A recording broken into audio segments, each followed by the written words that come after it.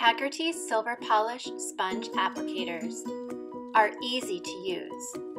Simply take the compressed sponge and put it in a bowl of warm water and watch it expand.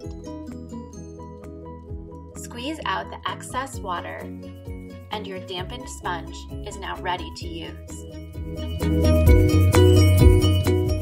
The sponge is an excellent applicator for Hagerty Silversmith's wash or Hagerty Silver Foam. Simply dip the sponge into the paste and then apply in a circular motion.